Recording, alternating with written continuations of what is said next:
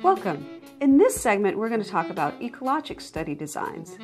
The key point about an ecologic study design to remember is that either the exposure or the health outcome, or both, are measured at a group level. Let's start, and I'll show you what I mean. The learning objectives for the ecologic study design segment are to list the basic characteristics and explain the ecologic study design, and also to identify the advantages and disadvantages of the ecologic study design.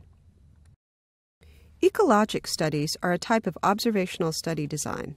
They are one of the four types of observational study designs that we are covering in our course. Let's first talk about the unit of measurement.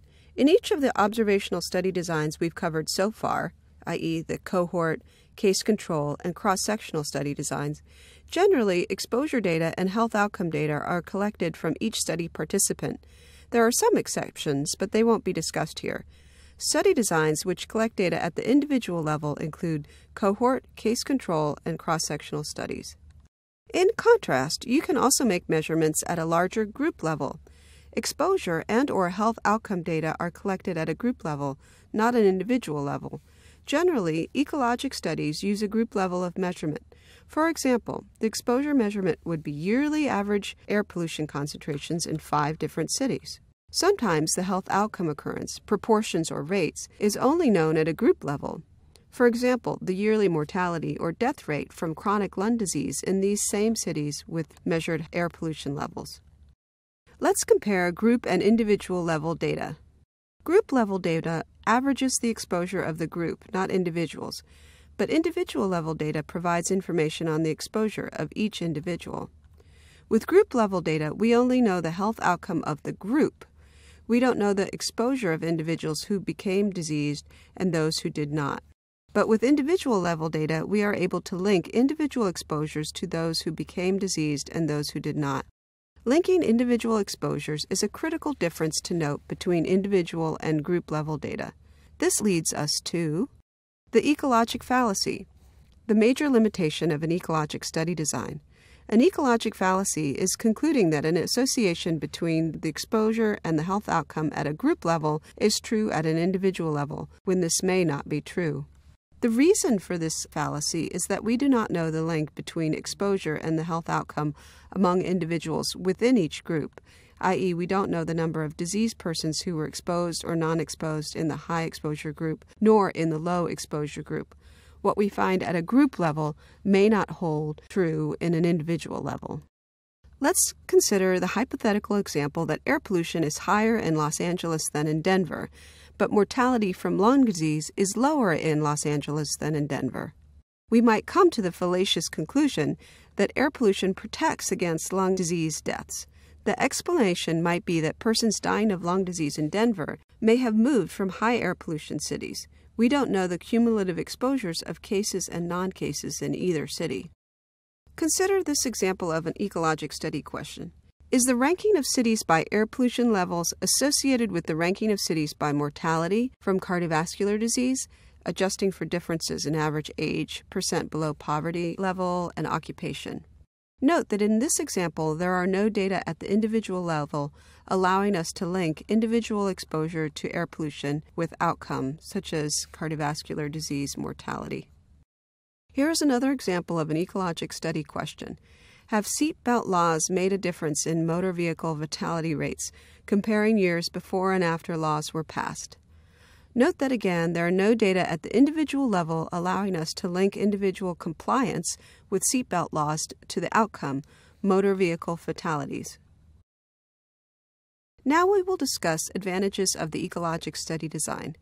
Group level data on exposure and health outcomes are often publicly available in state and national databases, i.e., census data, mortality, and cancer registry, so ecologic studies have lower cost and are convenient. Ecologic studies are useful for evaluating the impact of community level interventions, for example, fluoridation of water, seat belt laws, mass media campaigns, etc. We can compare outcomes at a community level before and after the intervention. In the United States and many other countries, data are regularly obtained on air quality, water quality, and weather conditions. The size of the population, the status of the economy, and the health of the population. For example, the U.S. Environmental Protection Agency collects air pollution data at selected locations all around the country using the National Air Quality Monitoring Network. These monitors collect air pollution data at the group level. In contrast, to collect individual level air pollution exposure data, a person would need to wear an exposure monitor. An example of group level data on a health outcome would be obesity prevalence among low income preschool children by state in the United States. State and county obesity prevalences can be mapped to explore regional variations. Comparing obesity prevalence by state, we see that California and North Carolina are two states with higher prevalence. If we look at obesity by county, you can see there is a great deal more variation in obesity prevalence by county.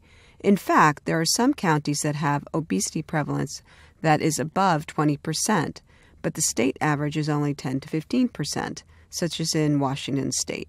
If we were planning educational interventions in California and North Carolina, the county level data will allow us to use our limited public health resources wisely and target specific counties.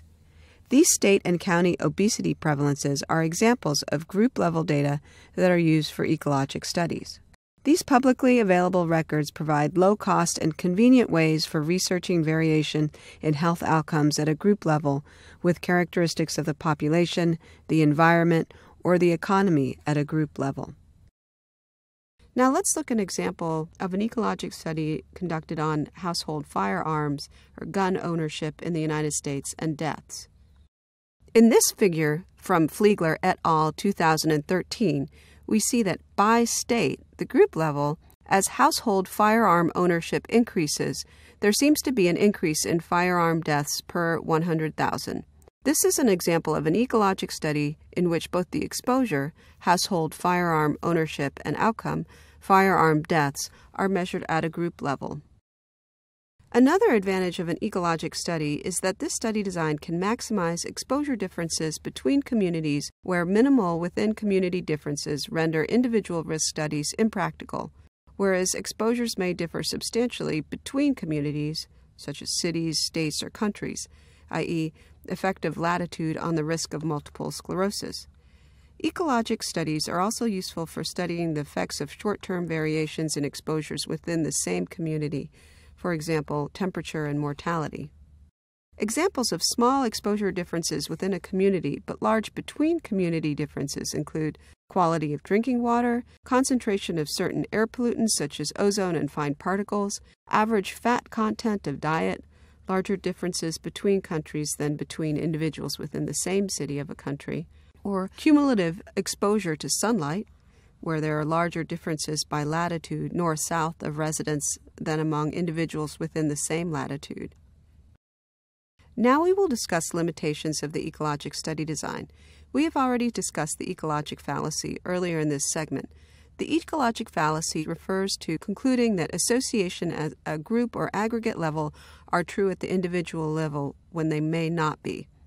Another limitation of ecologic studies is that we cannot be confident that exposure preceded the outcome. Lastly, another limitation of ecologic studies is that we do not know what happens to individual people. Thus, migration into and out of communities can bias the interpretation of ecologic studies. This concludes the segment on ecologic study design. What I'd like you to remember from this segment is that in an ecologic study, either the exposure or the health outcome, or both, are measured at a group level. One example to help you remember that is the example of air pollution that's measured at a central site location and is used to determine what the exposures are for a population within a, a 10 mile radius. That's an example of an exposure that's measured at a group level. We will end the lecture on ecologic studies with a practice question.